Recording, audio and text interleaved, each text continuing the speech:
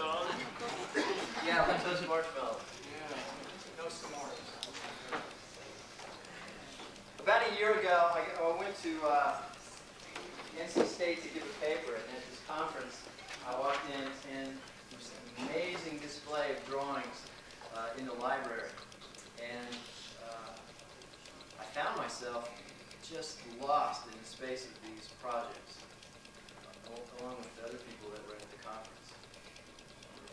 And I don't know, I must have spent 45 minutes or an hour just going through drawing by drawing. At the time, I wasn't sure if these were uh, current drawings or old drawings. It took me a while to figure it out because the drawings were unlike anything I had seen in contemporary work. They reminded me of sort of a, in a way, of, of uh, drawings from the 18th century or the 17th century. Uh, they were drawings in which I could really get lost in. And I then found out that the drawings and projects were by an architect who was giving a talk. Uh, and then I sat through his talk, and I found the person to be as compelling as the drawings were.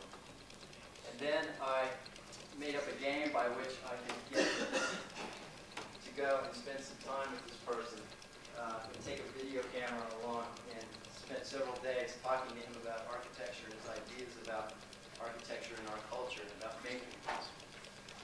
And I came away being very inspired about my own work and about what I was doing.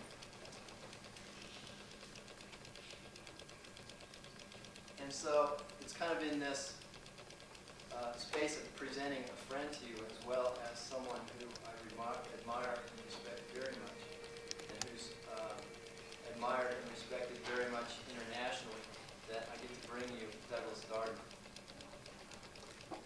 His background is as follows. He is Bachelor of Arts degrees in Literature and Philosophy are from the University of Colorado. His Master's of Architecture degree is from the Graduate School of Design at Harvard.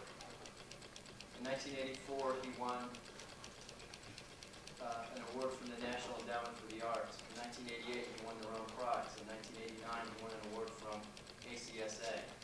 In 1991, he won an award from the American Institute of Architects. He's been published in A plus U and Daedalus, in Place and Design, in the Pratt Journal, in Sites. He's had exhibitions in Tokyo, Rome, New York, and Chicago, and Clemson.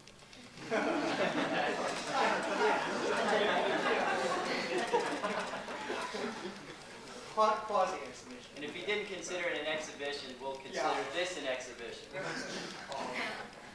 He has a book coming out from the Princeton Architectural Press uh, that should be in the bookstores by December called Condemned Building, which is, in his words, a major treatise on his work over the past 10 years. So I'm really anxious and happy to present and share with you Douglas Darden. And I want to encourage you um, to engage his work and have his work engage you. In Douglas's assessment, his trip here is really a waste if at the end of his talk, he doesn't have a lot of people talking to him about what this stuff is and about what you're involved in. So uh, enjoy and engage with me, Douglas Darden.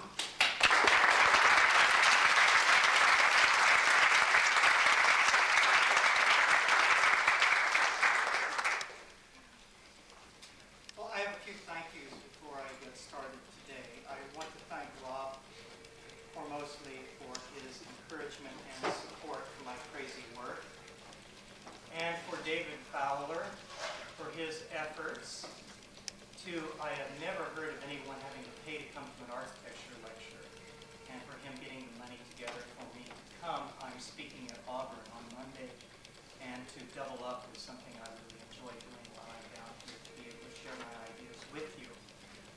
And to the Clemson Architectural Association for filling in the gap, which was a rather large one, uh, to sponsor me to come. So much for thank yous.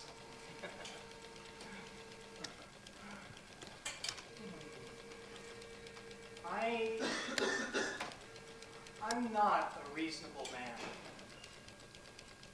Uh, The reasonable man takes the world as he finds it. And I am unreasonable. And what I mean by that is the willingness to envision the world. Now, I don't mean envision the way the world should be or what it could be.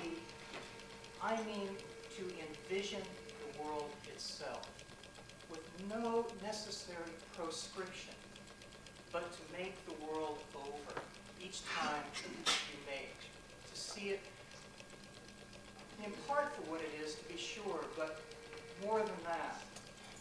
And the more is because if there's anything I have to impart to you today that I think is important, is something that is absolutely heretical to what one think is a school of architecture and what you're dedicating, dedicating yourself to doing. And that is to architecture itself. The thing that I want to say to you that all my work is predicated upon is that architecture is never its own sufficient subject nor its own sufficient end. It is not sufficient unto itself. I want architecture to be as big as life. And I think life is pretty great. and I'd like architecture to be the same. For me, the most significant meanings for architecture do not reside in architecture's ability to speak on its own, by itself, and for itself, but rather in its capacity, in the way in which it can address life. And the works of architecture which I admire the most are those which by their programs and spaces give, give existence a texture that, for me, deals with life and, more importantly, the difficulty of leading it, of living it. Now, what I'd like to do is divide this lecture into three parts. The first, I'd like to talk about the ideas behind my work and give you some examples. And I'd like to think that the ideas are a little larger than the examples which I will show to you, which are my works themselves.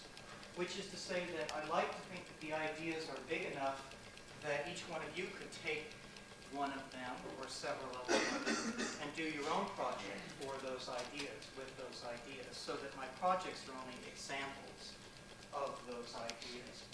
And secondly, I'd like to give you a quick survey, um, which will be disappointing, I can guarantee it, in terms of you understanding the projects, but will not be, I hope, in terms of you understanding my evolution as a student, which is what I am of architecture. And the third part, I'd like to show three projects um, and go into some detail about them so that you understand how I make these ideas in architectural form. My background, as Rob mentioned, has a lot to do with other disciplines.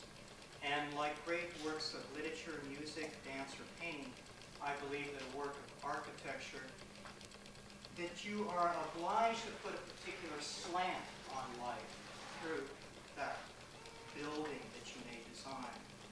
That it is important to make an argument for not only how things are, but as I was saying before, how one envisions them to be. Now what this means is that I'm unapologetically rhetorical. I'm not trying to provide solutions. I'm trying to tell stories. Because a story is a slant on life. History itself is a slant. We hardly ever think of it that way. We think it's a series of facts.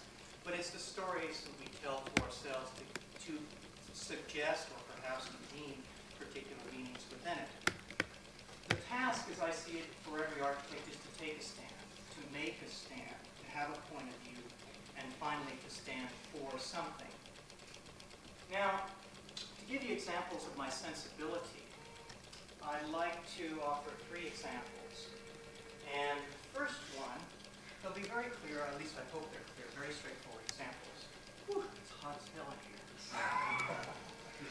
All right, the first one is the human face. And take any face, it doesn't matter. And I know you're all busy working, even next week on break. So probably don't think about drawing the human face until hmm, maybe Christmas. Now, what's interesting about the human face to me, I think has best been conveyed by the portrait artist, the late celebrated portrait artist Alice Neel. Has anybody, anybody seen any work by Alice Neel? Well, she's not perhaps, she hasn't stood historically as being the most important, but her point of view is something that I really appreciate. She said that the face is fascinating because it's asymmetrical.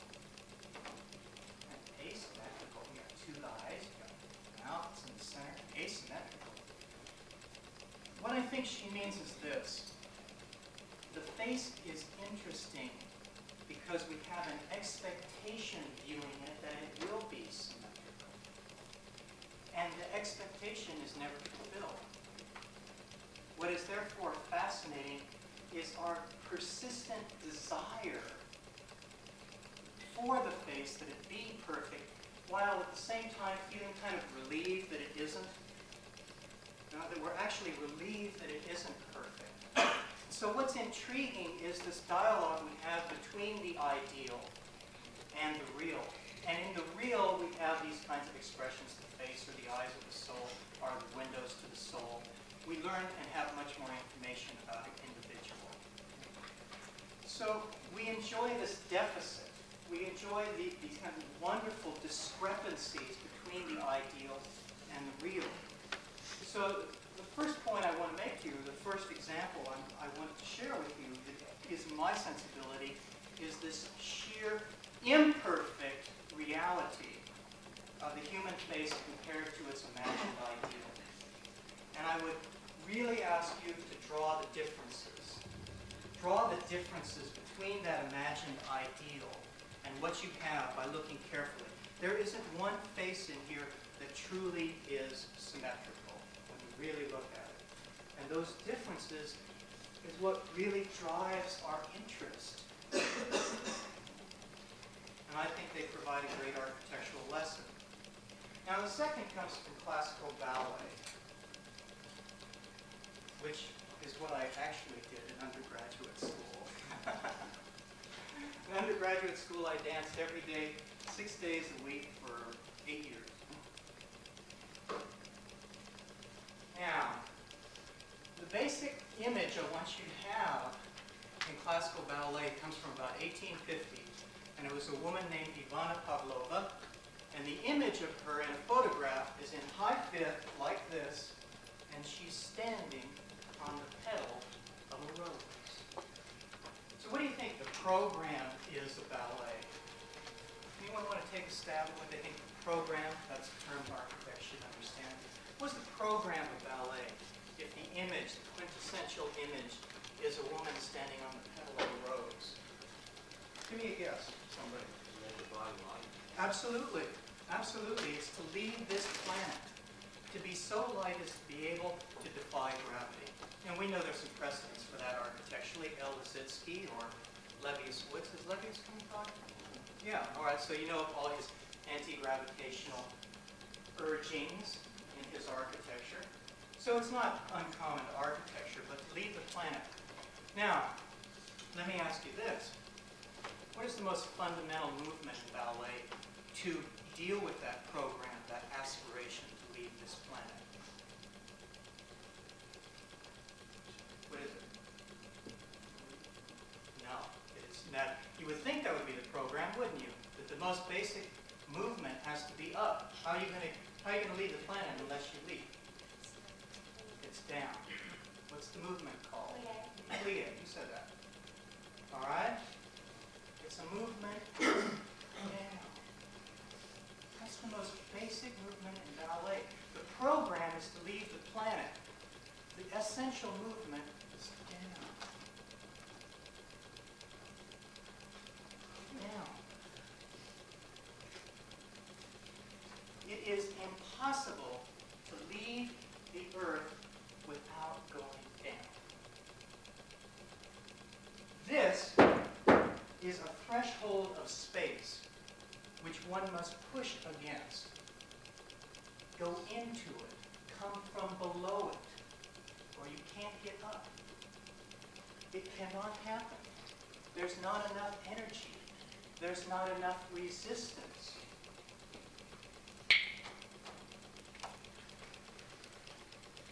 So we need to go down in order to go up. So the human face as my first example, is an elevational idea, I would consider that an elevational idea. This is what? What is that? It's a sectional idea, right? All right. So we have now elevations and sections. Now the third one is going to be a little bit different. It's going to sound like the second one, but it's not at all. I want you to think of a skyscraper under construction. And it's important to think of it under construction, in the process of construction. Now, as the tall building rises, while it is under construction, there is also something else that's being made, which is a negative skyscraper, which is a hole in the earth. Very similar to ballet in that sense. But I mean something more fundamental, which is to the act of construction. As the excavation site of a skyscraper at one, we perceive not only an act of construction, but one of destruction. Now, these two acts are inextricably connected in my mind. We cannot have one without the other. To make the skyscraper requires that something else be taken away or displaced. This is basic. Now, I'm not talking about just physics here. I'm talking about something more fundamental to life. To foster one life requires that somewhere, somehow, something else is taken away. Now, I mean, this applies to everything. For example, steel. What do we say about steel at a construction site? The steel arrives at the site. Can we say that? Use that term? Well, it doesn't arrive at the site. It comes from something. Something was taken away for the steel, or was taken out of a mountain. Right? It doesn't arrive at the site. Something was taken away to get the steel. Right? You go and you buy a steak. It's wrapped in cellophane. It could be anything, couldn't it? Do you know it's a dead animal? Absolutely not. It could be anything. It was an animal's life that was taken for yours. Absolutely fundamental. Now, what is most remarkable to me about this relationship, and to a large extent all the relationships I have described, is that they are hardly ever acknowledged by architects. It is even rarer that these reciprocal relationships I am, I'm talking about inform, that's two words, I-N-F-O-R-M, inform a building its program. Now this really, really confounds me. And the only thing I've been able to come up with is that we were all by definition as architects interested in happy endings. That we want things to turn out right. And this naturally makes us optimists. Mediating. Making happy endings possible. True believers in the future. But the underside of this belief, or in the terminology of the Tungsten Architectural Association Symposium, the underbelly of this belief, is that we are not willing to acknowledge any loss or diminishment. And by virtue of this, I truly believe our buildings often provide us with only a modest gain.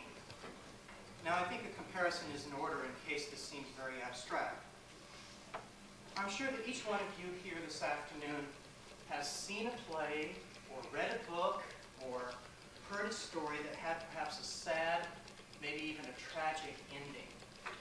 And despite the loss, or maybe we might even say because of the loss,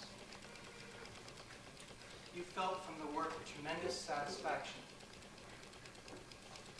It seemed to measure up to life and to be as big as it, as I said before, to be as big as life. Now, when I was at the Harvard Graduate School of Design about 10 years ago, I began to wonder why architecture couldn't be the same. I mean, why couldn't have a similar agenda? I decided that it was worth exploring in architectural terms that human expression. For example, if Melville could write Moby Dick, which is this great tragic novel of American practices and values, Why couldn't the architect do the same. Now, what this has meant to me as an architect since then is that I have been dedicated to designing buildings, which for all intents and purposes are condemned from the start. They're somewhat nasty. Now, I've condemned them to save anyone else the trouble. That's the title of my book that Rob mentioned that will be out at Christmas with good luck. And what I mean by this is that I've addressed the kind of content which, by our professional obligation, certainly or what we could call social responsibility, has usually been swept under the rug. And I don't mean to denigrate that social responsibility. In fact, I think there's some way in which some of the things that I've addressed are part of it, but they certainly don't fit into that terminology. So the buildings are not grounded in my desire for utility, but in the utility of desire itself. You know, I'm not interested in programs that fulfill needs. I'm interested in programs that deal with your desires.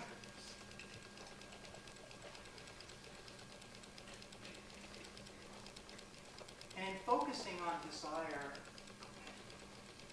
I know that I have focused by definition on shortcomings, some failures, and some loss.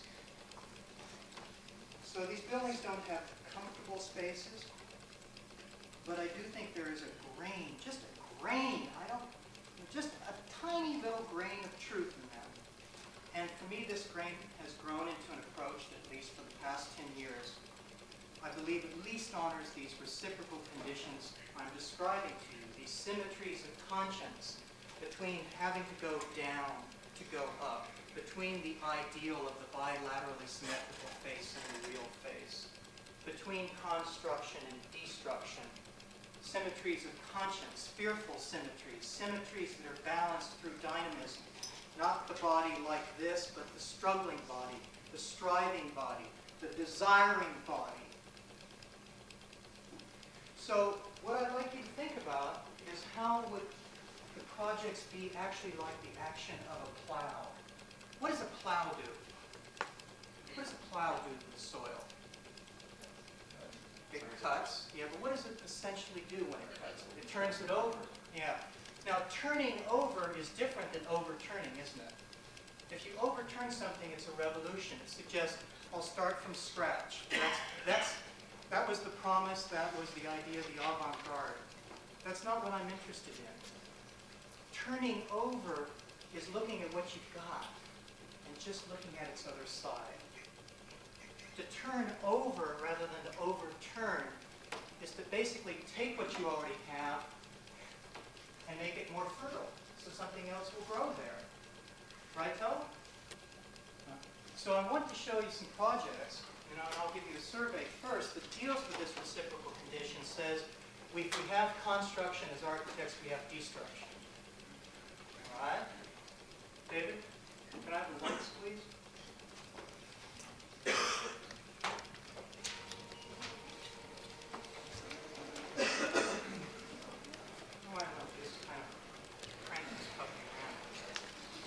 All right, I'm going to show you three projects in detail, but I'm going to, as I mentioned, give you a survey first, but I'll let you, I'll give you kind of a, a trailer like you would get from movies for the three projects. The first one will be Confessional, which is located in Florence. The one on the right is called Hostel, that's spelled H-O-S-T-E-L, on top of the Aswan High Dam in Egypt. And next two slides, please. Actually, Roger, you're doing the slides, aren't you? Okay. Um, Oxygen House, which is located in Frenchman's Bend, Mississippi. Those are the three projects I'll talk about in detail. Let me give you a little bit of background first, okay? I started, and as soon as I finished uh, graduate school at Harvard in 82, 83, I made a proposal to the National Endowment for the Arts.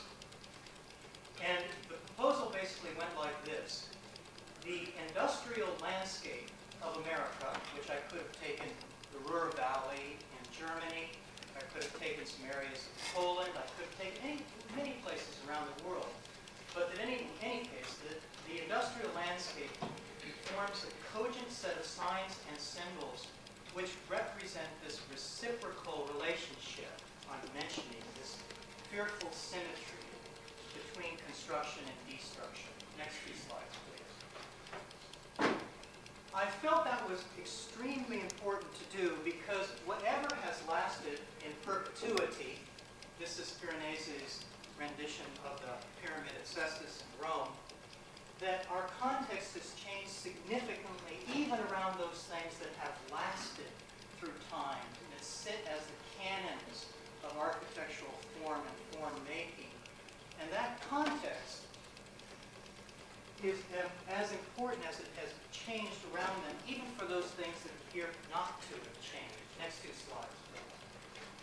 But more importantly, is that we have some of, and it's my interest to find what are the continuous desires, the continuous levels of which we exist from time to time, no matter what forms we have. I cannot look at Sacre-Cœur anymore without seeing in the same white light, the same monumental light, the same heroic light, space shuttle. I can't look at one without thinking of the other anymore. Maybe it's because I've shown these slides.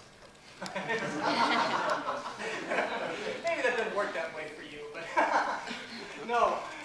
It has to do with the qualities that I see in both. I mean, I can't, I, I end up interchanging my descriptions of them. I say there's a cathedral at Cape Kennedy. Oops, I'm sorry. A launch. Oh, Next two, please. And more importantly, I think, is there is, with all of our form making that we constitute by the limitations of our, of our minds and of the material itself, we're always working on that tower of Babel. We're always dealing with that. And the question is, within the presencing that is available to us, that makes our time, Bethlehem Steel in the Monongahela Valley, Pennsylvania, what of our time harkens to qualities that are both different of our time as well as sustained? Because as Paul Ricoeur once said, and this goes well beyond Fredric Jameson, man was fragmented from the start. From the start. We don't have a culture of fragments starting in 1990. Man was fragmented from the start. Next two, please.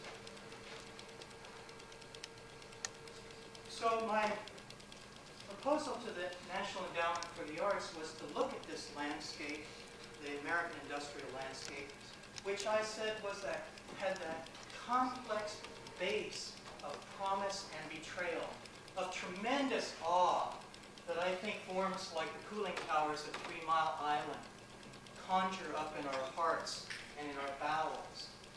And this, these other qualities that we feel somewhat betrayed, truly betrayed by, with all the progress and the power of them. Next two, please. And I started doing a series of drawings which was like prayer, dark drawings. Notice how the auditorium here got darker all of a sudden?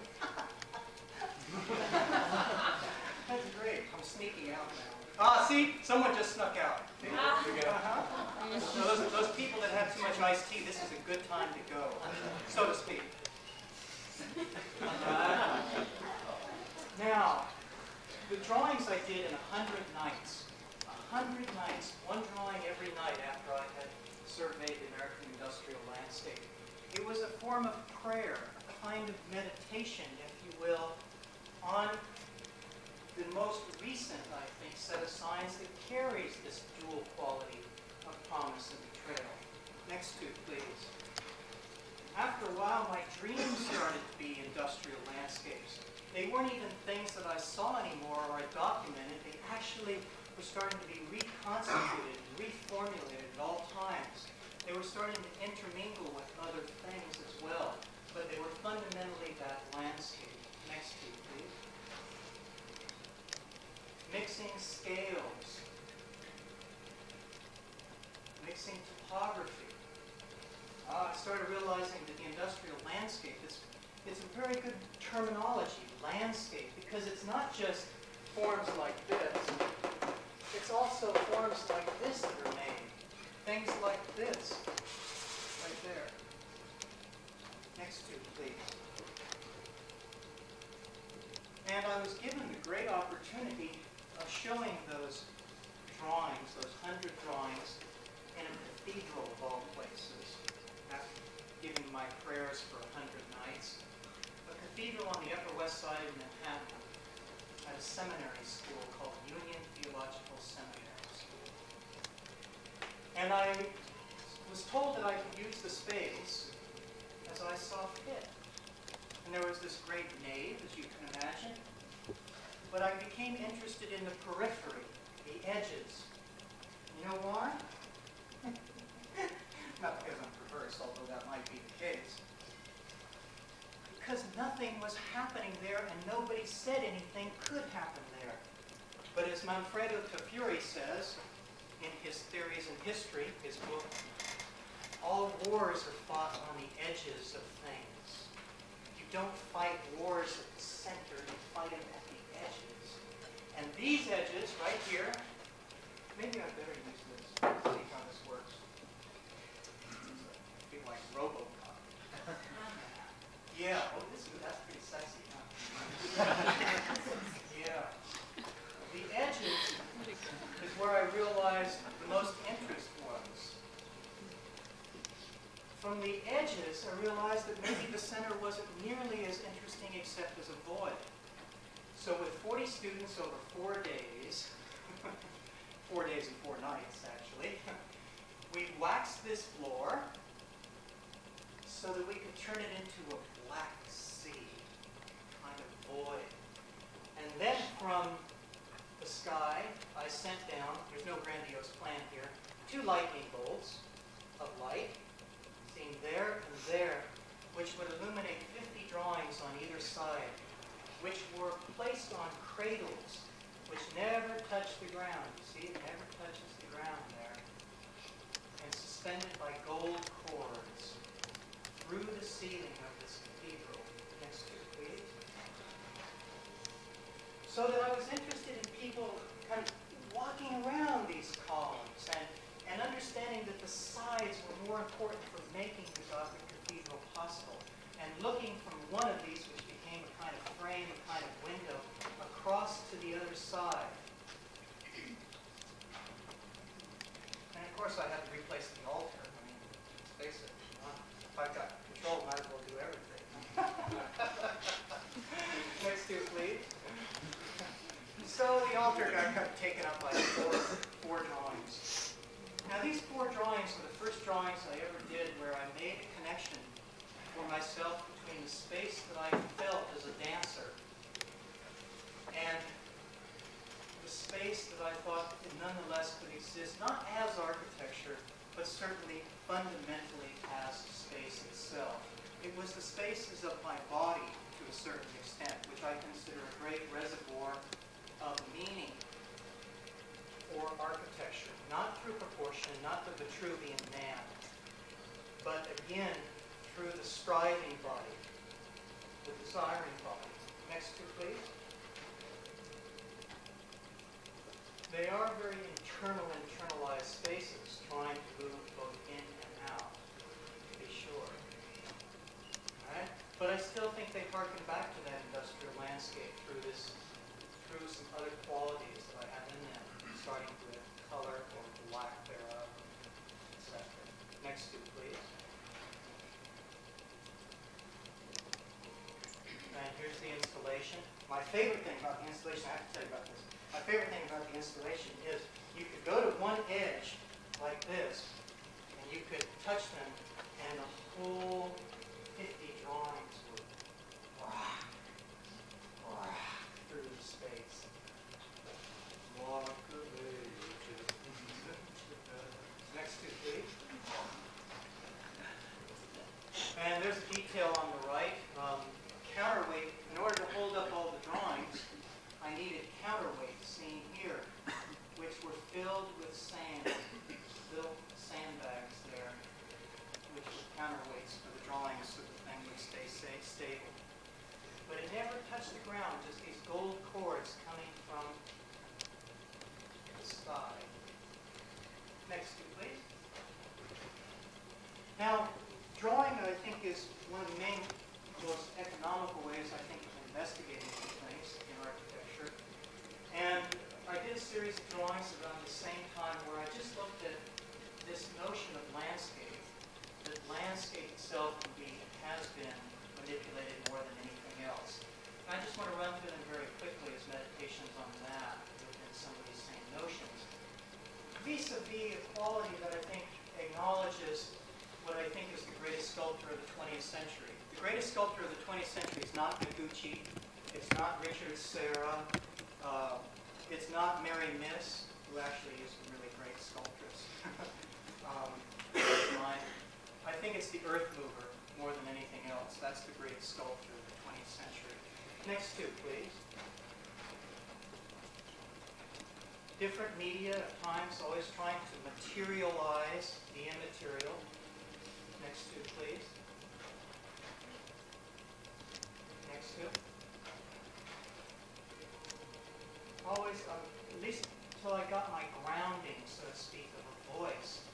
I tried everything. I tried Zipatone. I tried watercolor. I tried gouache. I tried um, Chartpak tape. That's those pieces of chart pack tape, you know, like that stuff. That, oh my God, who wants to touch it? You know, it's prophylactic.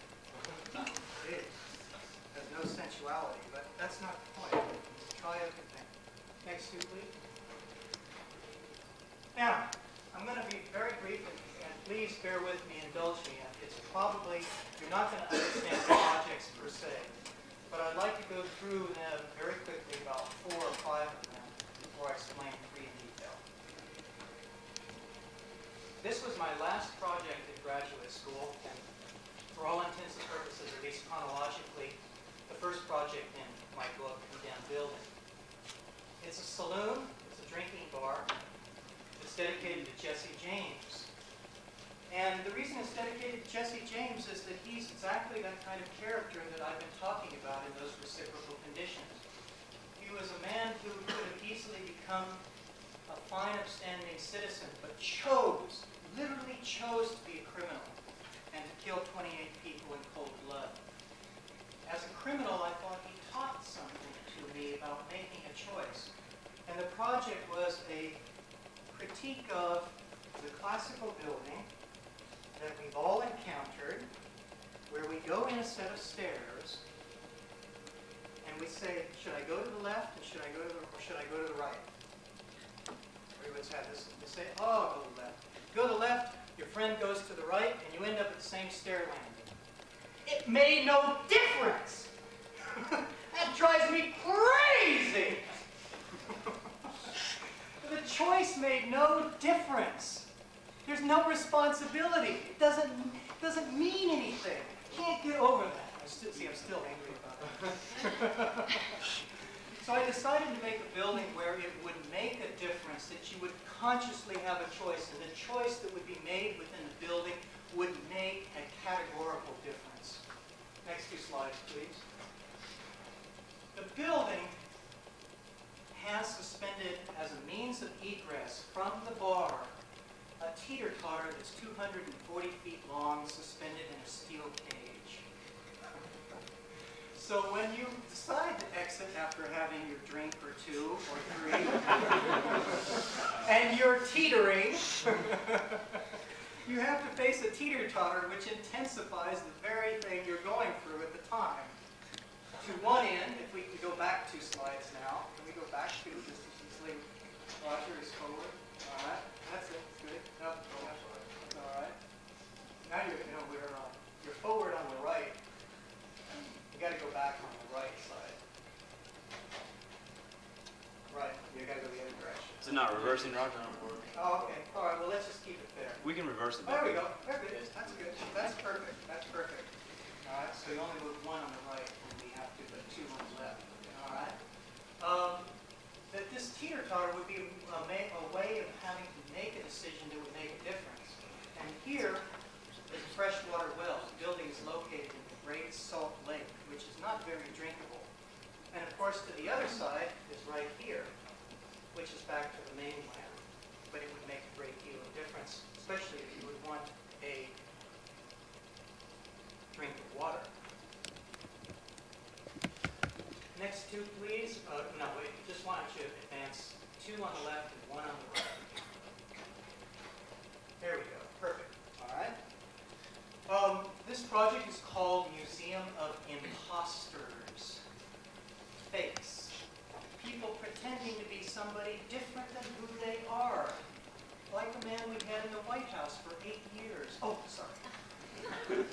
No, I didn't mean that.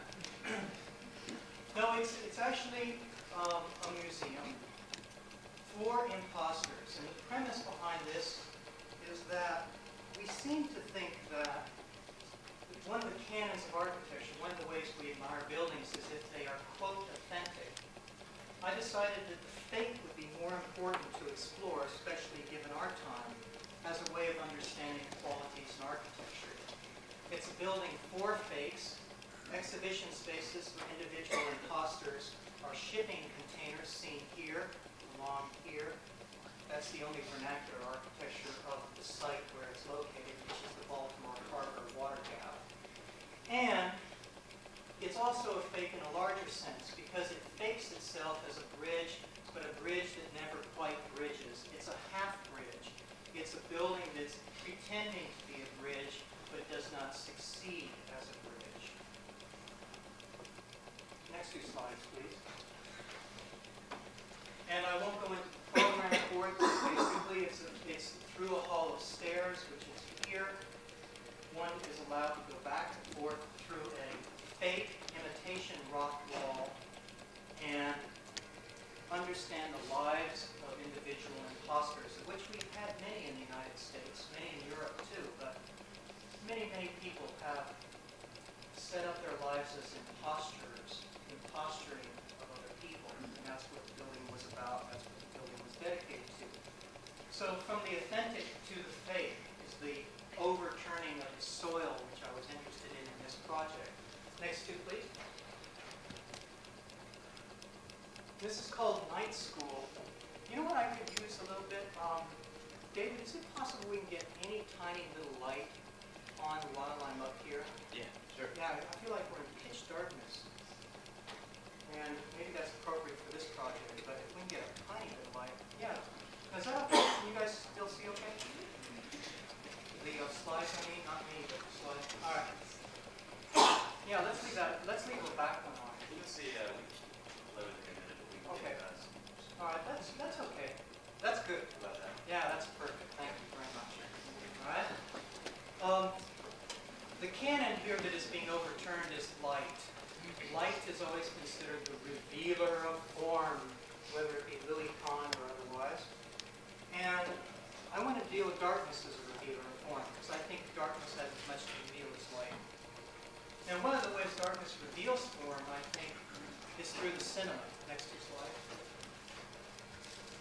The is a form which, of course, does not reveal itself except in darkness, complete darkness. It's the legacy to the history of art that our century has provided, is it not? I mean, it's what we can say our century, our people, our culture has contributed to the world art. And the funny thing is about it, I don't know how you guys feel when you go to the movie house, but when I go, I don't feel it's quite the same social interactions with the theater. I feel some parts of it have, it's very natural evolution, I think, that has led to video being privatized from the cinema as its start. It seems to be more about privatization, or certainly it lends itself to that. And when I thought of putting a cinema there as a revealer of darkness, I thought that the darkest part about it was its relationship back to the traditional theater. So if I interpreted all of theater as a body, as an experience that would put them together, I realized that theater had in fact broken off the head. The cinema had broken off the head of the theater. And that's basically the construct of the building as night school. It's called night school because it's the place from which we learn about darkness and what it has to offer and its losses. And the darkness is the theater, the cinema screen itself, which lifts up for a performance. This is with the roof off, obviously. And the question is, for any observer, do you observe someone across the way? Do you observe someone performing a play in the first ring, if you will, like a two-ring circus? In the second one, or up here? The fact is, you have to look at all of them. So there's this sense multiple centers, and multiple orient- orientations. I would program the space for always to be showing a movie while there was a play going on at the same time. Next two, please. That's with the movie screen up and the roof on, on the left here. Next two, please. Dreams have motivated me a great deal, and I did a project which said because a third of our life is spent sleeping, a large part of that dreaming, that that would be substantive content as well. So instead of the waking life, it's the dream life which constitutes the character of the building, its iconography, and the spaces themselves. I won't show it in detail, but it's called Clinic for Sleep Disorders. And I used to work in one, actually. Undergraduate school, my work study was planting electrodes. I planted electrodes on people's heads to monitor their sleep for my work study program. Next two, please. Next two. When I won the Rome Prize in 1988, I had in mind to with history. And I read an essay by Frederick Nietzsche called The Uses and Disadvantages, Uses and Abuses of History for Life. And what Nietzsche taught me is that it's as important to forget in order to make a history as it is to remember. And I read in the New York Times a preposterous article by an archaeologist who claimed he had found the originary wall where Romulus and Remus built Rome. So history and myth have gone just like this. Whoop! Well, one and the same. And I thought, well, that's pretty interesting. That's an interesting way to raise money. you know, I'm doing a project. Who is it for? Zeus. I beg your pardon? Zeus. Oh, so, so I, okay, all right, let's check it out. And what's important about the tale of Romulus and Remus is that we don't call it Minneapolis St. Paul. We don't call it Roma Rima, do we? Who is the city named after? Romulus. We call it Roma. It comes from Romulus. We don't call it Roma Rima, like Minneapolis St. Paul. We have forgotten Remus. What's more important is that Remus forgot what he was doing, what the meaning of the wall is supposed to be, and he crossed it, and his brother said, all right, you little shit, you're dead. You're dead. He knew, he knew he was going to be killed for what he did, which was to leave the city, to break through the wall, not to make history in order to make history. And he knew that by doing that, he would help make history. That's why he's fantastic. So I wanted to do a project called Temple Forgetful, which commemorates Remus, the great naysayer of Rome, the man who could say no to history to make history. And paradoxically, of course, to commemorate the guy who forgot. Next two, please. The project is located in the Roman Forum, the only place, where, of course, that's where this originary wall is supposed to be. And it goes right between these two theaters. Next two slides, please. Now, Dr. Miller, would you like to stand up for a second, please? Now, we have lights for a second? Gotta ask you guys a question. Feel you're getting- getting even with me for the questions. Yeah, that's right. That's exactly what I'm doing. Yeah. Okay. Now, question time here. Rob Miller and I want to forget each other. Yeah? I'm so hot. Commissioner? Rob and I want to forget each other. And we cannot leave the room. What is the best way spatially that we could set up a relationship one to the other to signify that we want to forget each other? Back to back. Yeah. If I want to forget Rob, this is the best way I can do it spatially. We can't leave the room. Huh? It actually comes from the Old Testament. Anybody know the story forgetting, turning one's back? To turn one's back, to forget. the fundamental action of the body, desire of the body, program of the body. Thanks, you were terrific. All right, I think, um, maybe bring the lights down a little bit now, but I kind of like them up a little bit. I feel like I can see what the hell's going on. Yeah, that's good. That's fine with me if everyone's fine. Okay, so what I, what I thought that I should do is deal with this notion of temple back to back. And there are two temples over this originary wall that Romulus and Remus mythically, historically, mytho-historically. And the first one has steel columns, which rolled and stamped on each one is the founding story, the story of the founding, rather, of Rome. Story of Romulus and Remus, under this great sagging roof of history. If I, I should have, I should have put the drawing in here. Uh, let me show them all series. But there's this great sagging roof, the sagging roof being under history. On the other side is, um, well, for all intents and purposes, a toilet bowl, except that it's a very large toilet bowl, and it's continuously running water. It creates on a metal pan this pandemonial gorge. I mean, it's so loud, it's flushing out all of history.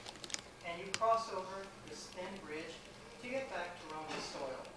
And the sequence moves through this ramp and then down through there, and through the theater to read the story, and across to jump the wall where Remus jumped, and to make your way across like that. Next two, please. Now, I think it's time to go into a little detail, little detail projects.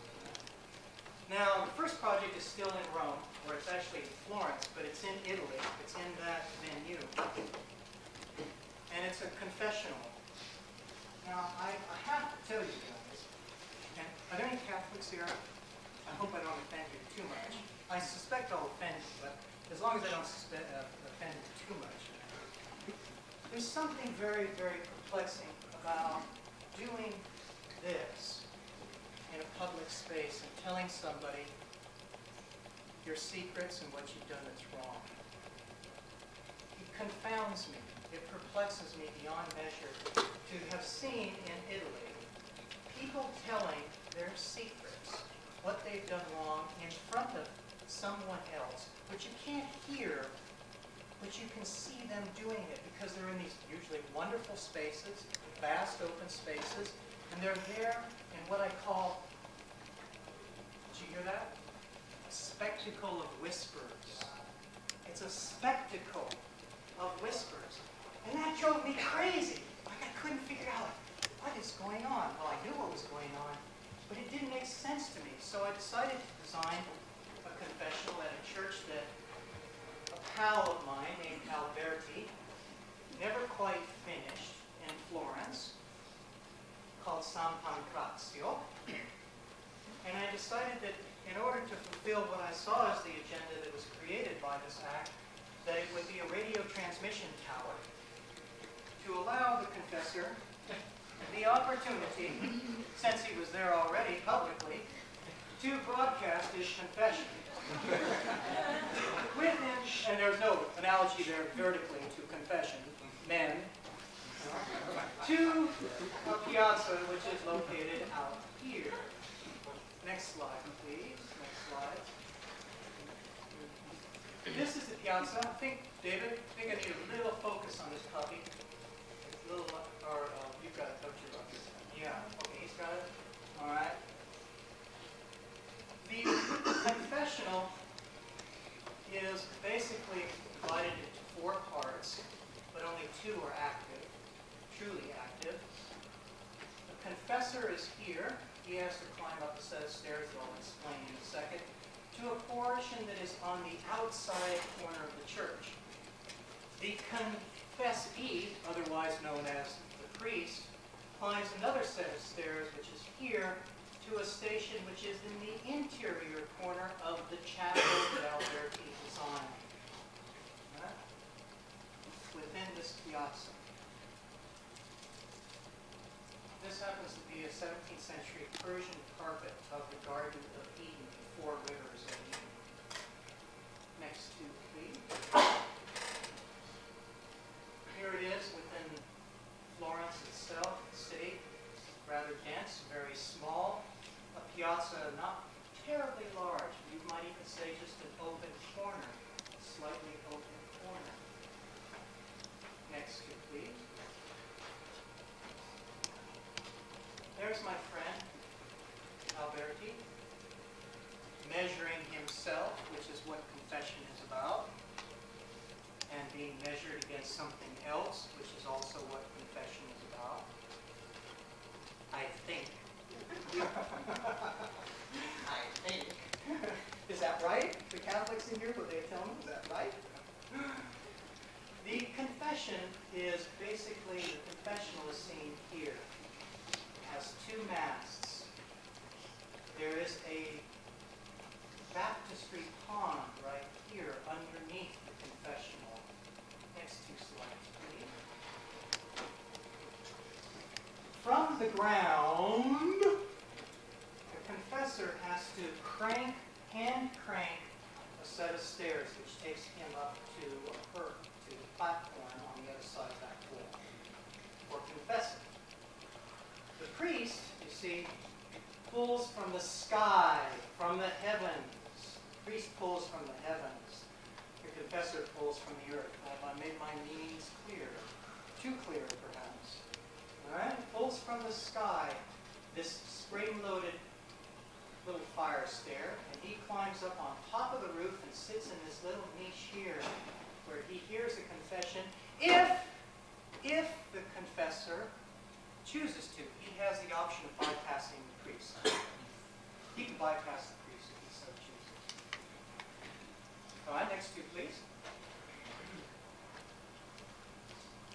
Now, when he pulls the curtain of the confessional, it starts bending this one mast towards the mast of the priest. There are two masts. The confessor's mast was made out of pine, strips of pine like a leaf suspension, wrapped in pieces of leather. And the priest's mast, seen here, is cast in place, scratched in place aluminum. Next two, please. When he pulls the curtain, he then pulls down from the wall a state-of-the-art microphone. Seen here. Opens that up and decides it's time to broadcast my confession. With that mass inflected towards the priest, but not in the same lines. The priests, they don't touch. Next, please.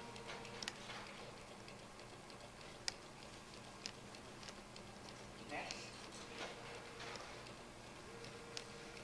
After he confesses, he pulls the corner of the church itself apart, like Jesus to the tomb of Lazarus, and goes in and finds only the spiky thorns, the top thorns of this sepulchre which Alberti designed. You see the slab comes over with only just the top thorns.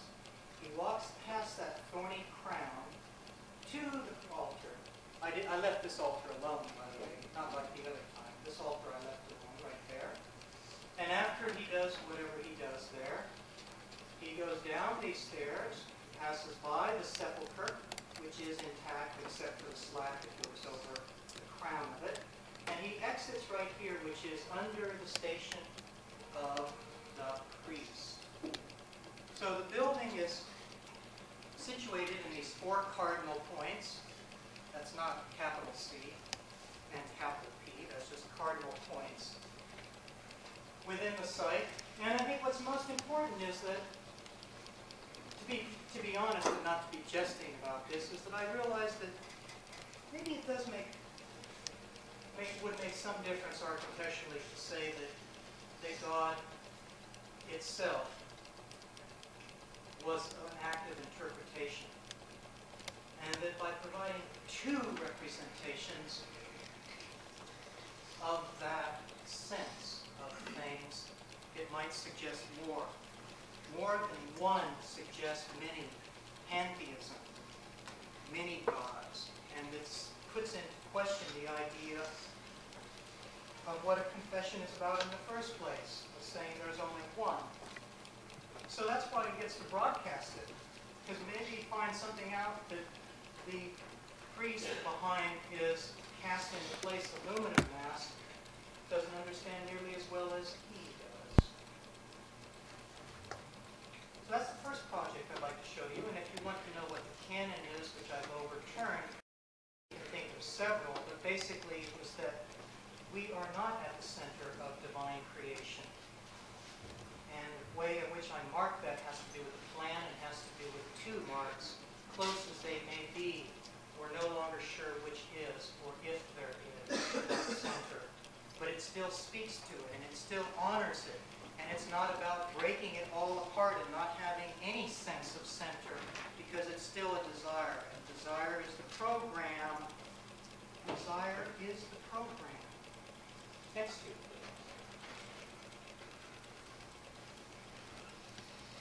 Next to it. Okay. You guys doing all right? Uh, Can I continue? I really want to take my shirt off. I'm just soaked. I was like. Phew, it's so humid down here. But I like it. I like it. I like it. I like it. I, I haven't had a sauna in a while. Uh, the next project is called Hostel. H-O-S-T-E-L. It is located on the Aswan High Dam in Egypt. I got a grant from the Graham Foundation for Advanced Studies in the Fine Arts to do this project, to go to Aswan. And to follow up on this notion of the symmetries of conscience, I want you to think of symmetry about this line. To the left is Egypt, which by virtue of this dam being built, brought Egypt into the 20th century. It hasn't turned out to be as great as they thought it would because silting is becoming a major, major issue. But Egypt is to the left. What is to the right by virtue of building a dam?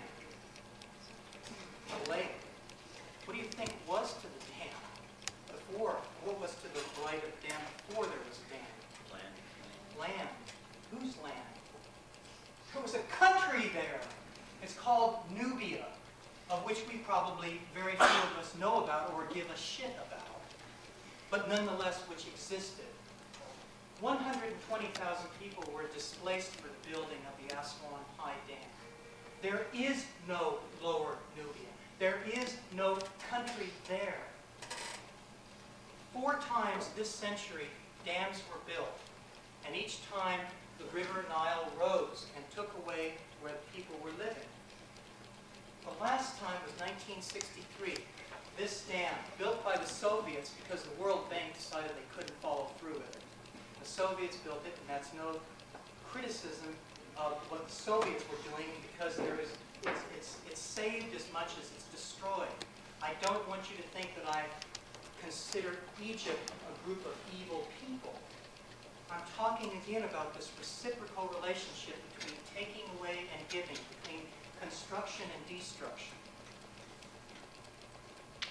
So I decided I would do a project on top of this dam that would do something that we all want to do, but talk about it from the underside. We all want to make a place. We all, placemaking has become a, a kind of, we almost would say a jargon term, certainly a phrase about what architecture should do. What are the hell are you going to do for a people that have had their country taken away? Are you going to make a place for them? You think you could make a place for them? No. I I'm not capable of doing that. The only thing I could think of doing was to honor the exile itself, to honor the condition of loss, of being in exile. I couldn't make over this country. It's impossible. So what would be important was to deal with that displacement, literal displacement.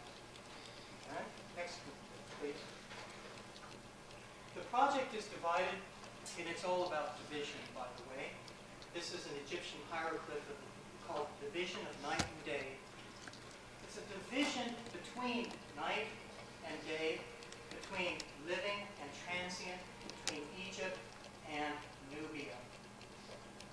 What happens in the building is this. Next slide, please.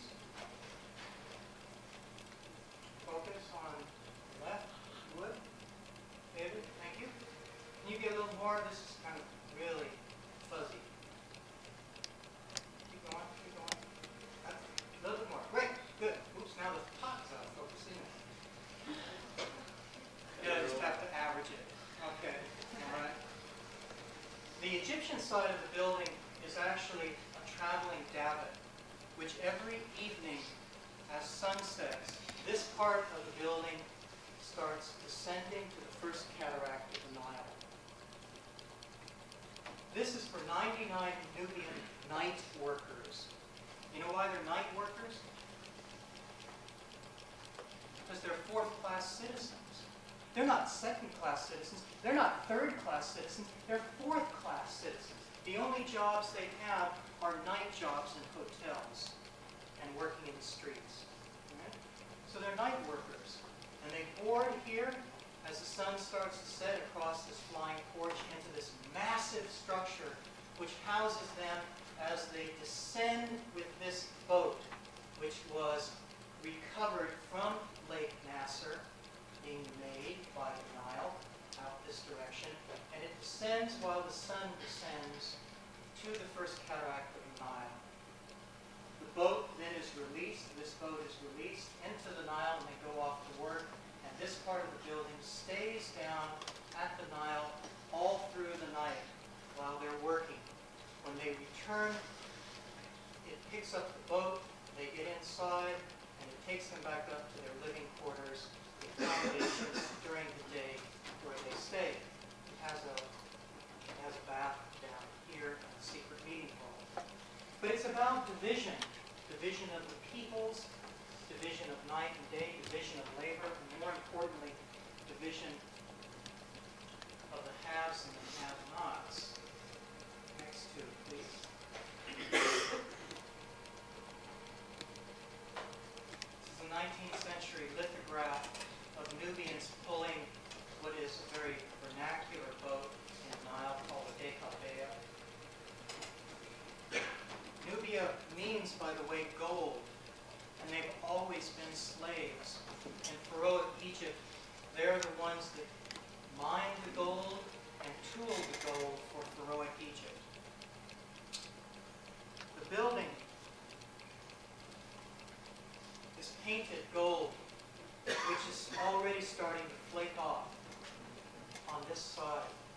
And on the other side, it's lead-coated steel frame, making it heavier than it already is.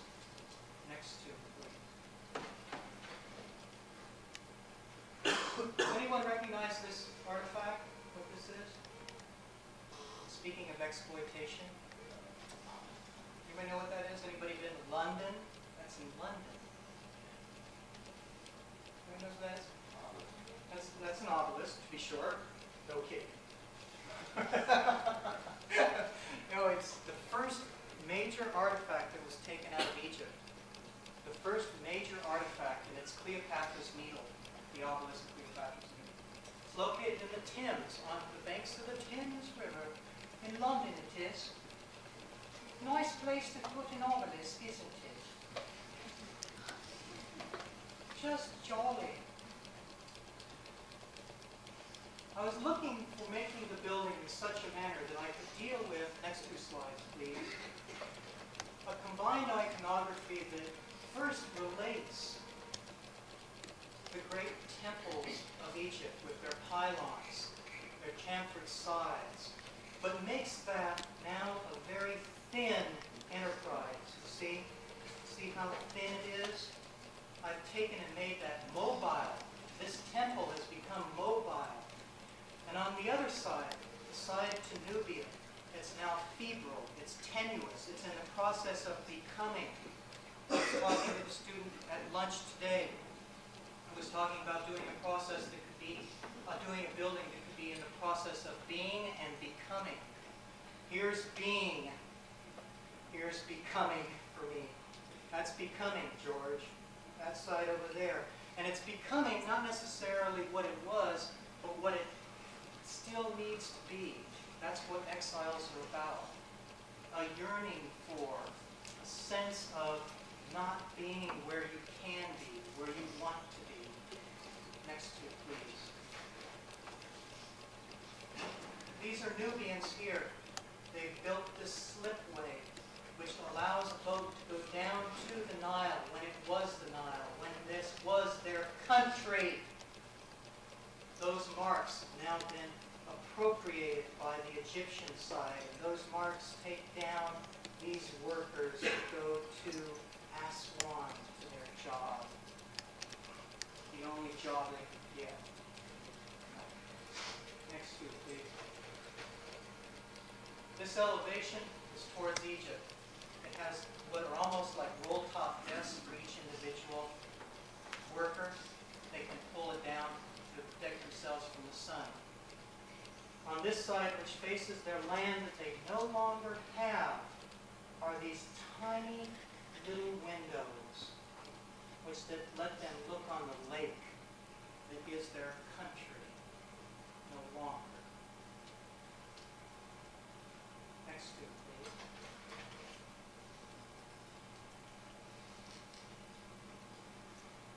So this is the building after the sun goes down. And they're going down to go to work. Next two, please.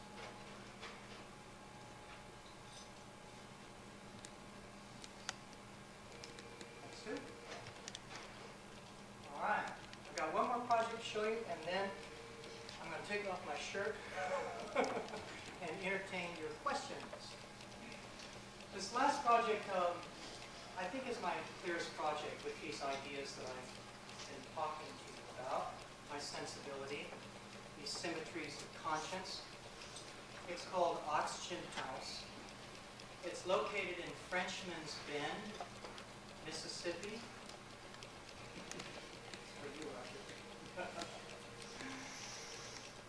It was done for a man named Burden Abraham, who several years ago, after torrential rains in the spring, was working in a routine operation on the tracks, and a train derailed and sent metal debris which punctured his right lung. Has to live in an oxygen tank. Next slide, please.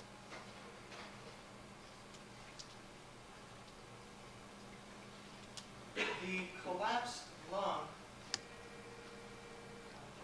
created numerous complications.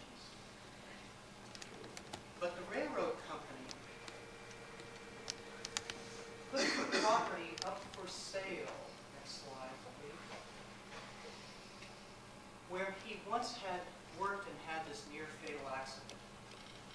The accident occurred right there. These are what's left of the railroad tracks right there. This is his collapsed right lung. That's a collapsed lung right there. And that, that's my client's lung. And he came to me and he said, Doug, I want you to design a house for me where I almost died. Says, are you nuts? He says, no, no, no. He says, that's the best place for me to live. I says, you want to live where you almost died? I mean, isn't it enough of a reminder you've got a collapsed lung? And he says, no, I can make peace with the fact that life is finite. And he said, and I like it there. I I enjoyed working there. And he says, but I want you to do something for me, since my life is terminal. Says, I want you to design my tomb. So he asked me to design a house, not just for living, but for dying. He wanted it to be for both. And I had to think about how I could do it for both. Next slide, please.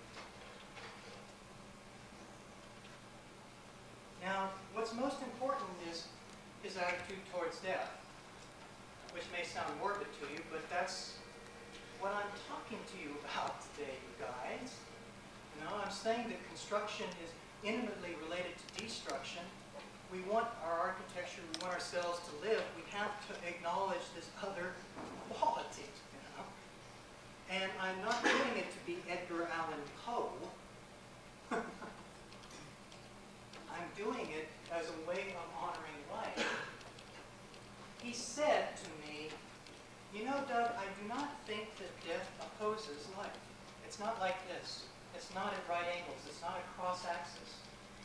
I said, oh, yeah? What does, it seems like it opposes life pretty much to me. I mean, what do you mean it doesn't oppose life? Here you are, and then you're not here.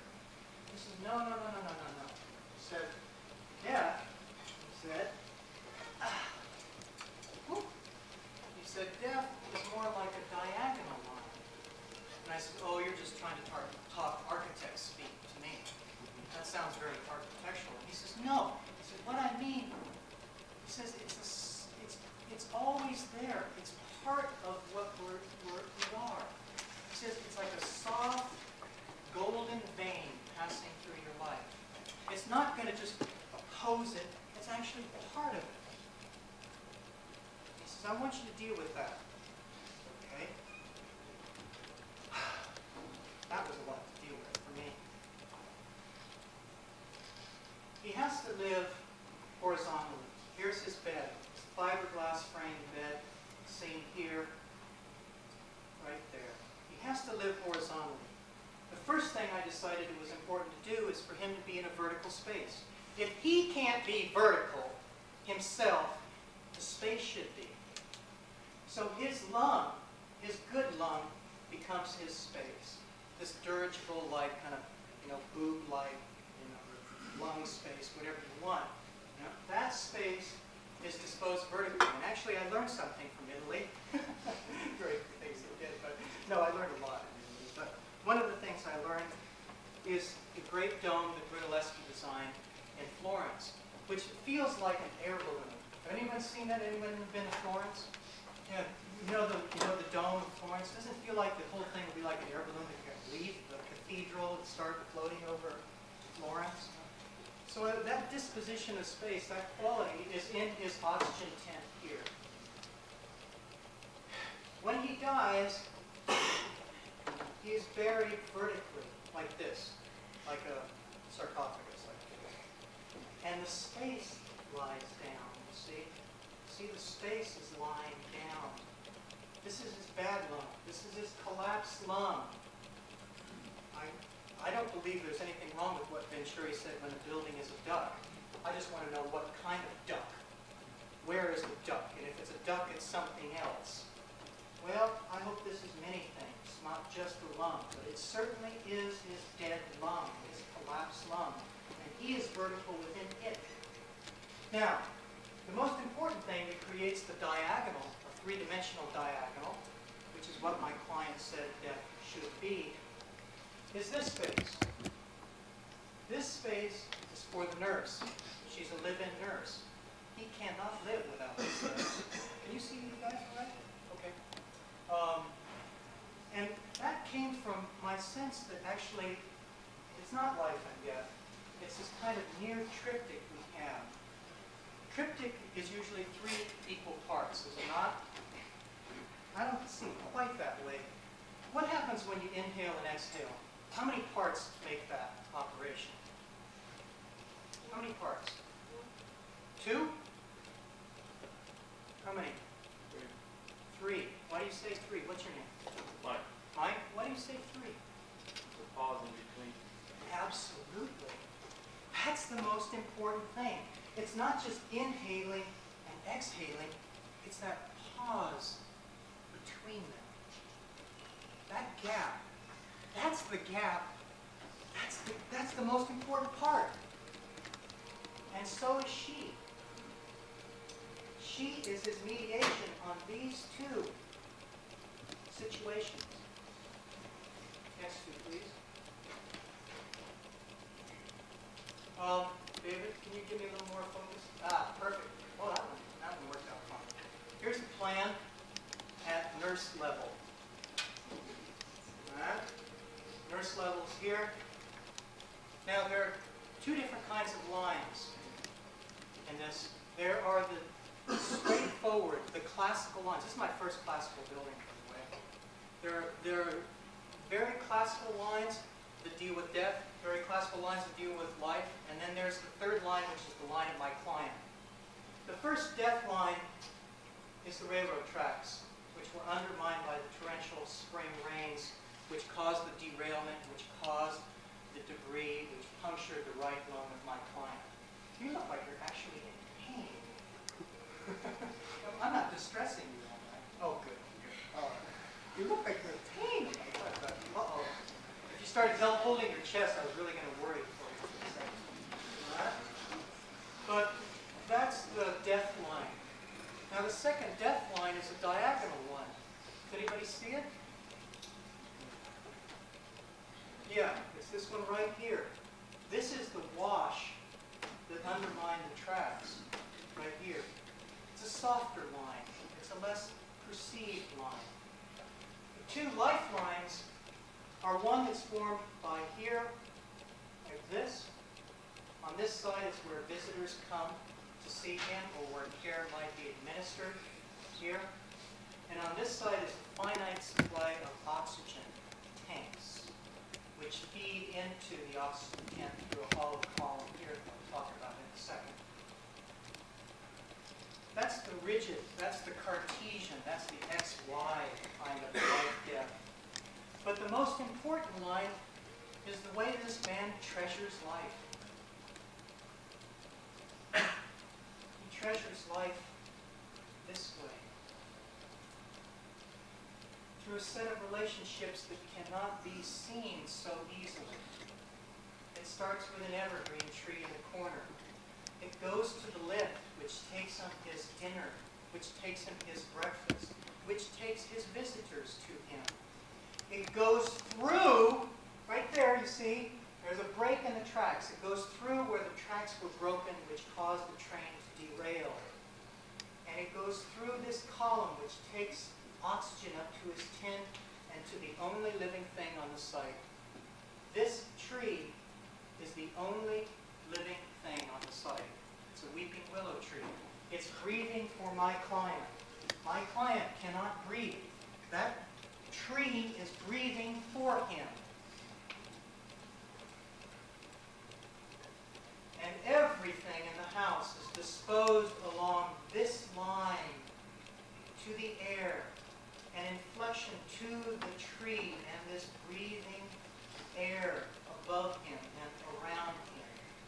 On this softer line, this more subtle line of arrangement of parts, relationship of parts.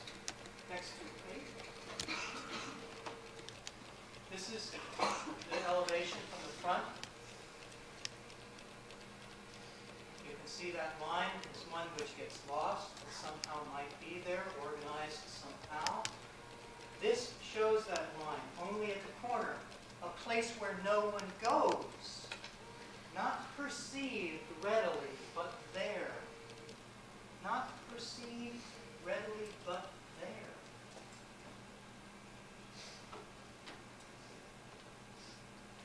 Next sheet. Now, I'm really structure can be programmed. You take away this column. Thanks, David, that's good. You take away this column, what do you think happened? Death. Yeah. First, his death, right? Because that's what the, where the oxygen comes in. What else happens in terms of the structure if you take away that column that you suspect? If it's real programming. The house falls down. Absolutely right. The house will fall down. Without that column, the house falls down. Without that column, my client dies. I'm interested in how program is structured and structure is programmed. If it holds the building up, how does it hold us up? This is the Westinghouse brake. This is the brake that failed that caused the train to derail. Next slide, please. This is at Abraham's level, the bed his level.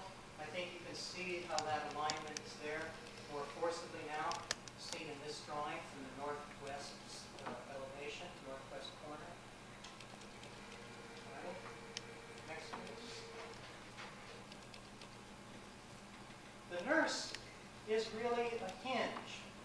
She has a shutter gate, which is here, which lets her look and see visitors that might be coming to visit Abraham. And she can let that shutter gate down, and it becomes a set of stairs that lets them come up and then go up and see him. Right? He also can let the drum torso, this, this oxygen tent is kind of a torso, which can pull apart to make this kind of dirigible, more ephemeral space that might even be subject to somewhat the air movement around him. And he can open that up as well on certain days. This is from a 19th century train. It's a detail which would be in the caboose of the water tank. And I'm just forgetting a drink of water. Next, please. Here is our column. I actually, I thought I, we looked at that before, didn't we? Yeah. You go the same direction, Robert? Yeah, okay, all right. Here is that shutter gate coming down for a visitor. So there is a kind of symmetry that you can see, a symmetry of conscience about the oxygen itself. These are symmetrical. They certainly aren't symmetrical from any other side, but it's symmetrical about his life. Next.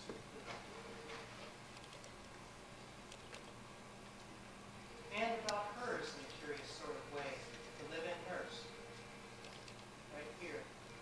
In a local way, in a provisional way, not in a totalized way. Next two.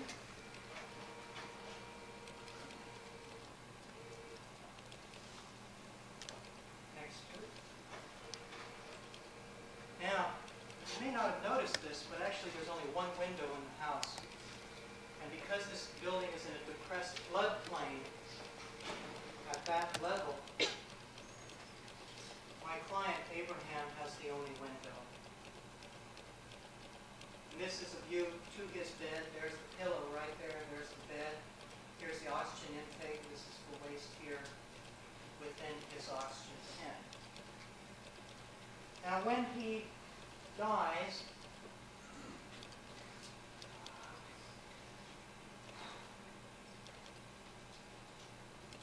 when he dies, every part of the house is rearranged. I'm sorry. Is that okay now? All right. Every part of the house is rearranged. The first thing that happens is that membrane that was here is taken down, and he is wrapped in that membrane. Buried in the base of the lift here. You see? Shrouded in the oxygen tent. The bed comes apart. It was here. This bed comes apart, and it becomes the lid, the coffin lid, the sarcophagus lid right there. And it's bolted down over that aperture. All the steel custom joists that were here, all those pieces that made the oxygen tent are taken down and bolted to the sides of this cinder block open tomb here, except for one, which is kept up. The drum torso is taken down and brought here. The tree, the willow, willow tree, is replanted up here in this new kind of tree pot.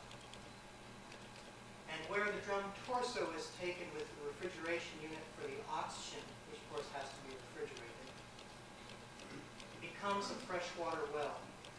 So now where the torso was, the drum torso that brought oxygen up into here for his life, brings fresh water from here up through it. And the tree now has reestablished a different order, but a reminiscent order. It has worked with what is there. The parts of his life have not gone away. They have simply been rearranged through his death. And that is his tomb, a house for living in and for dying. Next two slides, please.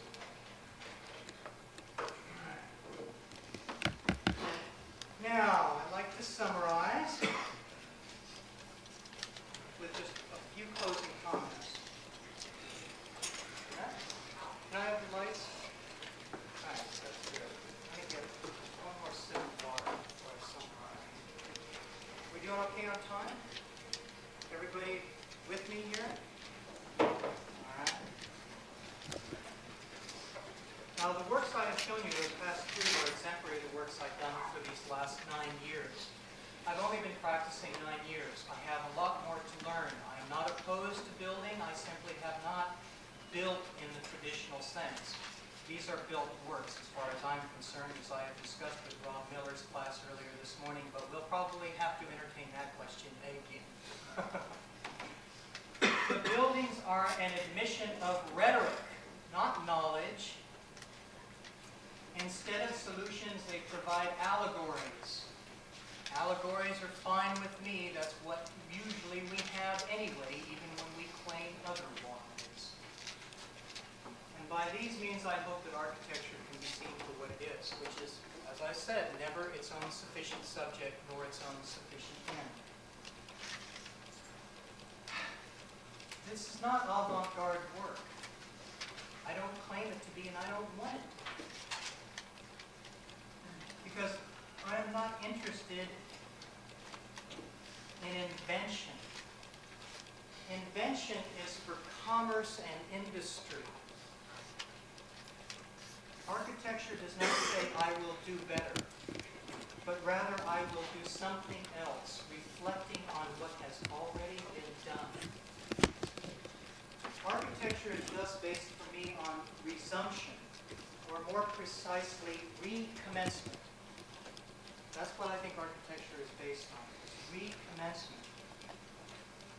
I've always felt that history exists only in relationship to the questions we ask of it. History doesn't really exist until we ask questions of it. What I'm trying to show you in the work that I have presented to you today is that I don't believe that architecture exists except in relationship to the questions it asks of us. Thank you.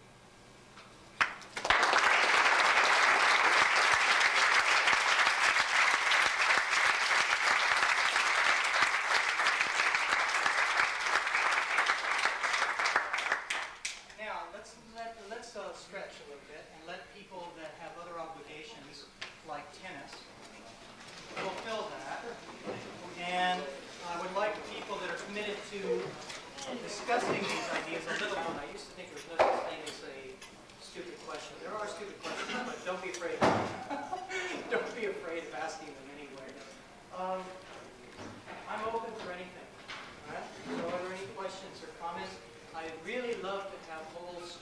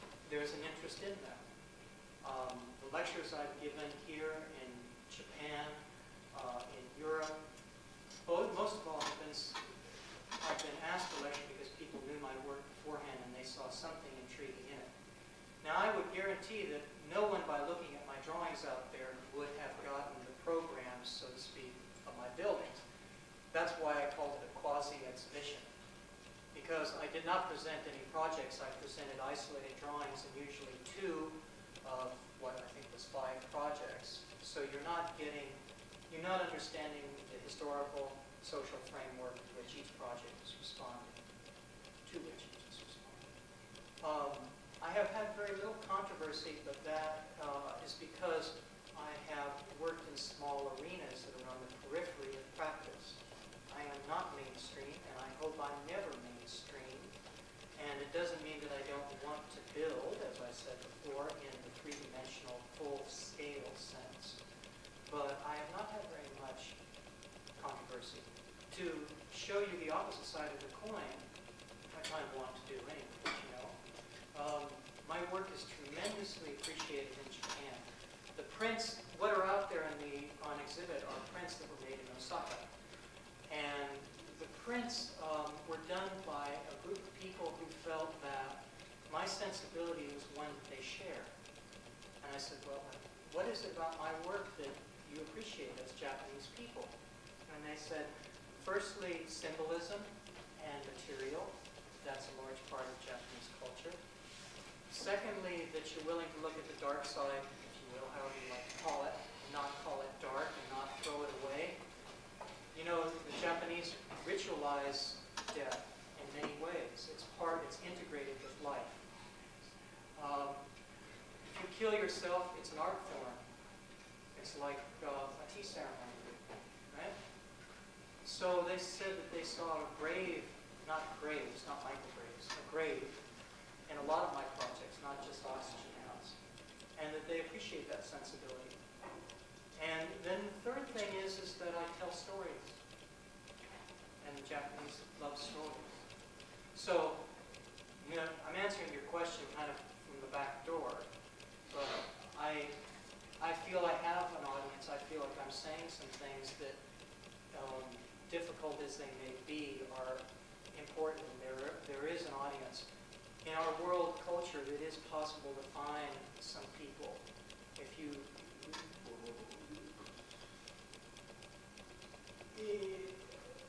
if you're willing to put your heart out, basically. I mean, you just, you've got, you've got,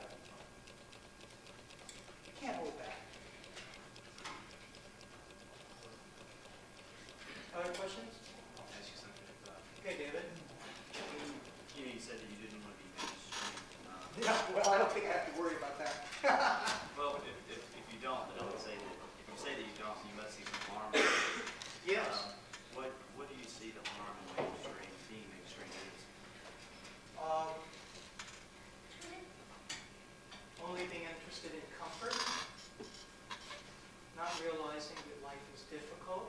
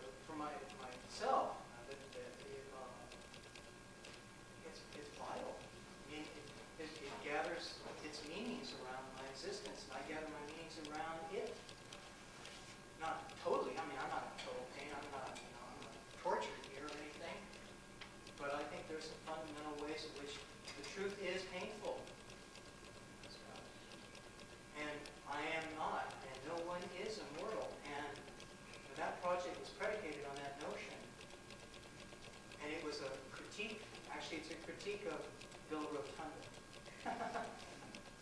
which is meant to be, quote, timeless. and it's my, it's my first classical building as a conversation with Bill Rotunda is the way I look at it. And um, I think I think culture by and large wants Bill Rotunda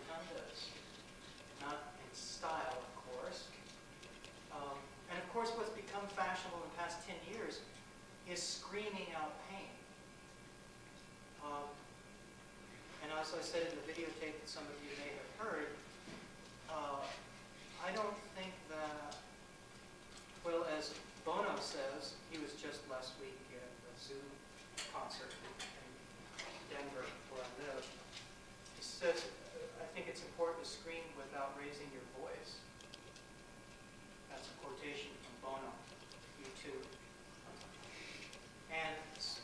screening that way, if you screen that way in a building, then you would realize that it's part of your existence. It's not something extraordinary. You don't have to screen. You just have to attend to it. And that's why, in my closing comments, I said, David, that I'm not interested in invention.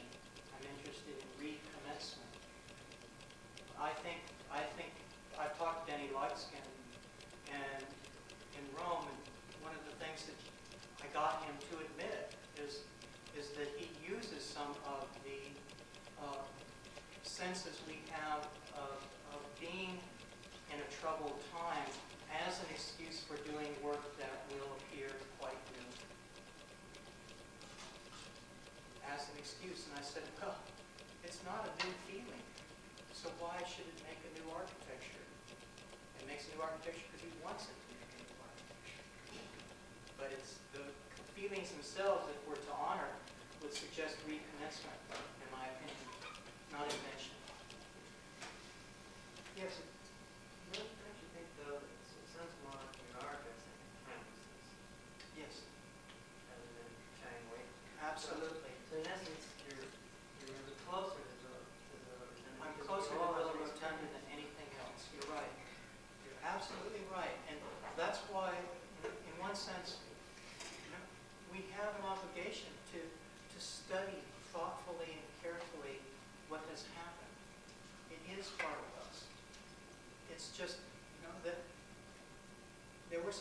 missing in that building. You know, I think our relationship to the land and so many other things is a little softer, a little more complex. And, and so it wasn't sufficient to deal with the, the attitude that I saw it was important to convey. But it doesn't mean that I threw it out. It means that that was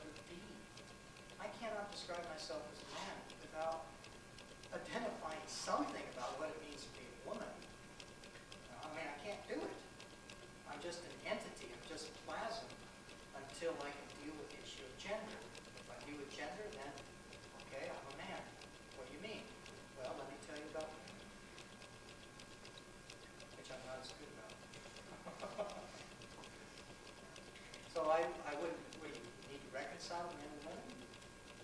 No, Well, that doesn't, that doesn't happen. Just generally, Doesn't um, happen. And uh, your projects, you set up um, two things in the- your office. I set up two And things.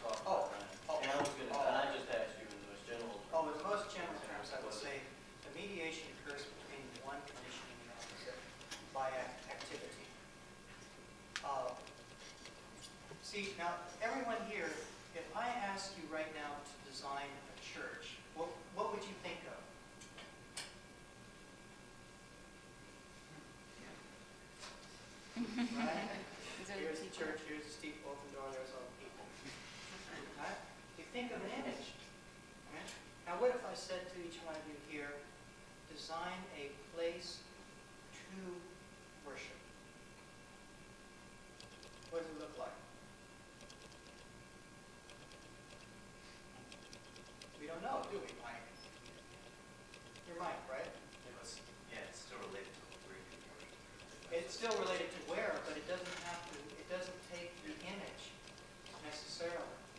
So it liberates you as a designer, and it liberates the people who are going to worship. I can guarantee it. Or at least there's more of a chance for that. Uh, so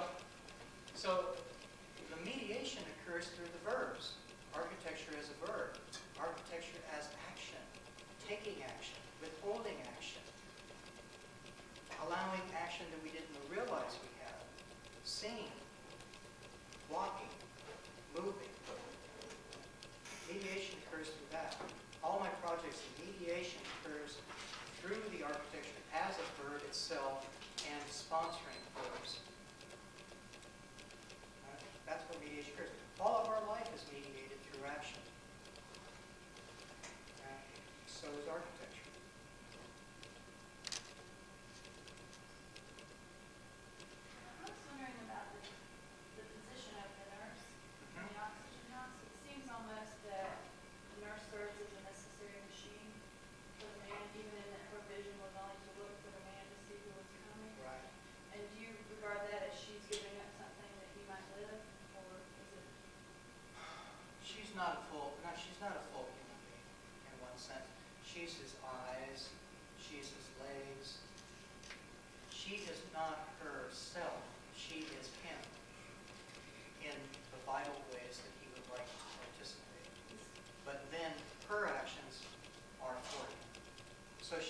You're, I would say, I think it's a little harsh to say she's a machine. I mean, she's, she's chosen that vocation. Um, it's probably a little more uh, restricted. A live-in nurse is much more restricted kind of task than a nurse that can go home to her family. Um, but she's not a full, she's not a full person, no, in this story.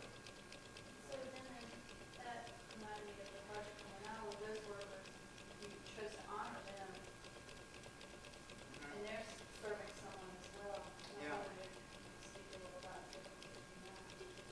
That's a good question. That's a very good question. That's why I like this um, well, I will not claim to be the advocate like the ACLU for the underclass. It's just that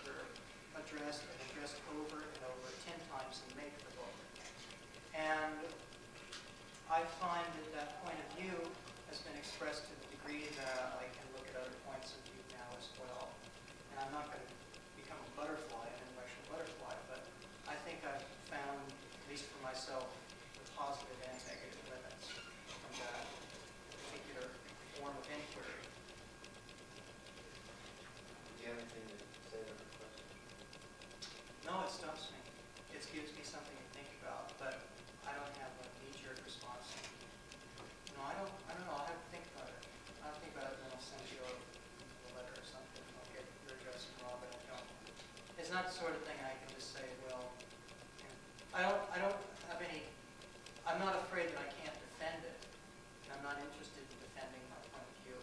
I think you pointed out something that's really interesting, and I'm wondering for myself if it has something to do with men versus women, if it has something to do with a group of people versus an individual, you know, I don't know. I did sort of notice that you assumed that the nurse was female on that. I mean, is this a real No, I person? didn't assume. And So she is a I real person? designated. You, excuse me, Yeah, I didn't assume anything. you made her female. I made her, yes. Yes, I did. I didn't assume. I made her. I didn't make her female.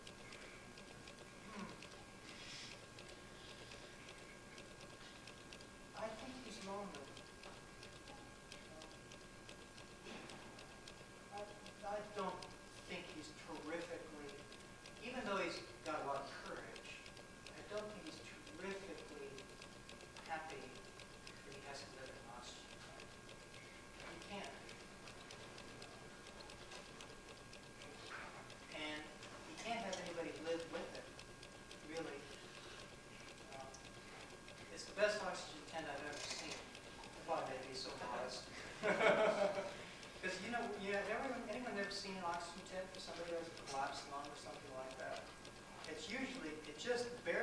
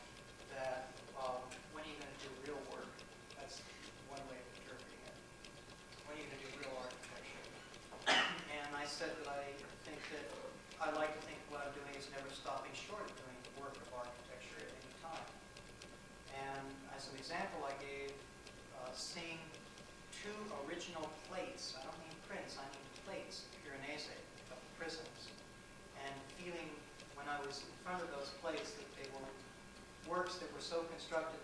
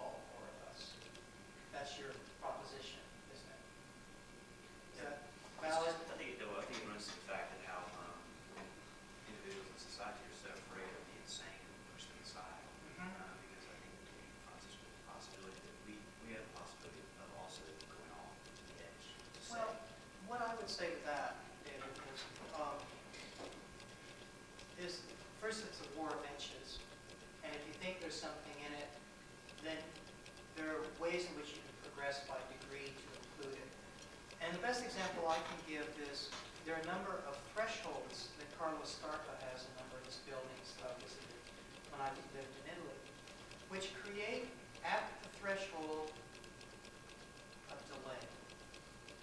That's all. Just a delay. Just a hesitation where you, where you, you cross the threshold and you just, you just delay one second like the delays of of Duchamp where he talks about freezing, freezing a moment in his pieces. Where you- you're hesitating because you're not sure, because there's a little bit of fear or because you don't know all that's behind it or that's below that threshold he, he makes a reveal that suggests that things are held up more miraculously than we thought. That it's a wonderful thing that stone can be cantilevered like this, or steel. And it occurs to me, David, that you don't have to necessarily make monumental projects for 99 Nubians in the, on top of the Aswan Dam to deal with this content. And that, as I say, if it is a war of inches, if to seek the, the, the, the truth you were mentioning about that was so disagreeable, what's your name? Coleman?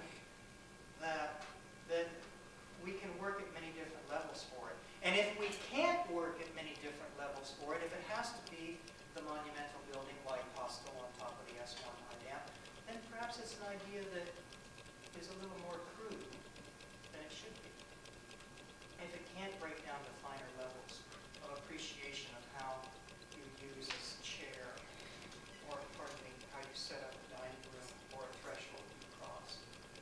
And I'm convinced that I don't need to be the one to do that, but other people might see that in my work and interpret it at those levels, which can be at once domesticated and at the same time brought into the situation that is domestic with something else in mind. So that's, that's my conviction, but it's not founded on anything, it's just, it's just a pie in the sky belief that, that we have a greater tolerance for it than by the division of art and architecture as, uh, who had that question, is she here? That wasn't here, she's not here now. The woman in your class who, who wanted me to divide up art and architecture and who wanted me to draw the line, which is Roger, more carefully needs to be there.